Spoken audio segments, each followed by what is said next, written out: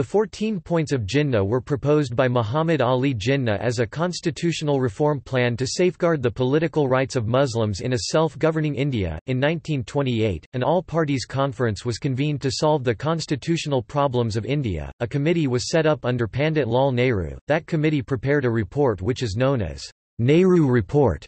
This report demanded dominion status for India, separate electorates were refused and the reservation of seats for the Muslims of Bengal and Punjab was rejected. In this report, not a single demand of the Muslims was upheld.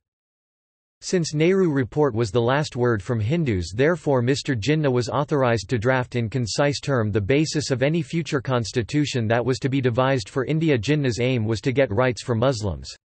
He therefore gave his 14 points.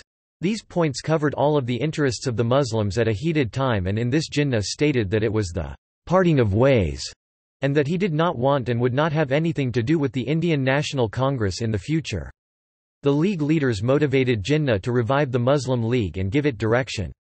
As a result, these points became the demands of the Muslims and greatly influenced the Muslims thinking for the next two decades till the establishment of Pakistan in 1947.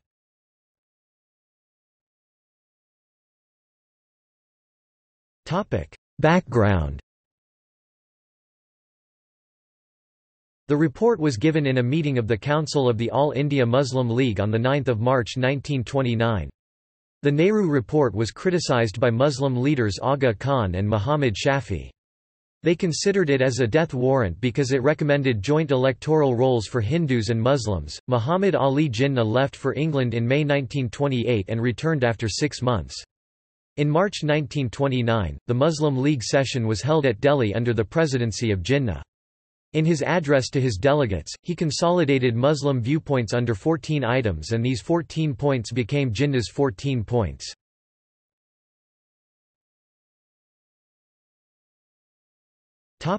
The 14 points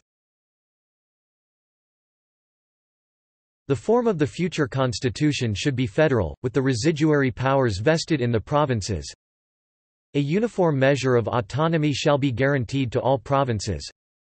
All legislatures in the country and other elected bodies shall be constituted on the definite principle of adequate and effective representation of minorities in every province without reducing the majority in any province to a minority or even equality. In the central legislature, Muslim representation shall not be less than one-third. Representation of communal groups shall continue to be by means of separate electorate as at present, provided it shall be open to any community, at any time to abandon its separate electorate in favor of a joint electorate.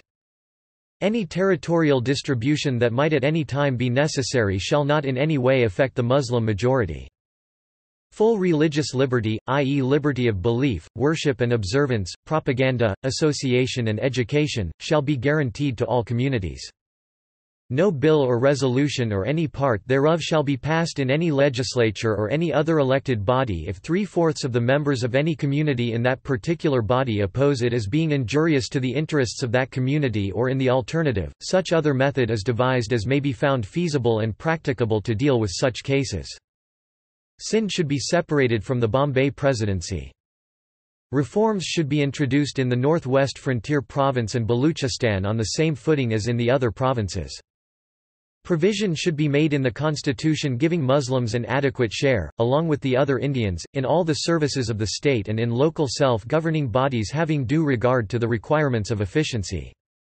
The constitution should embody adequate safeguards for the protection of Muslim culture and for the protection and promotion of Muslim education, language, religion, personal laws and Muslim charitable institutions and for their due share in the grants and aid given by the state and by local self-governing bodies.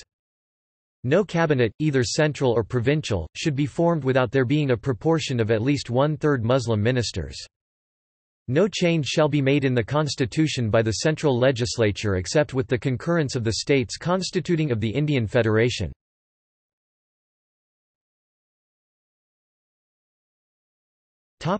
Reactions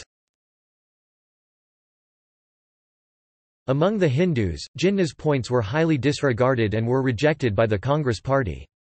Jawaharlal Nehru referred to them as Jinnah's ridiculous 14 points. This eventually led Jinnah to form Pakistan.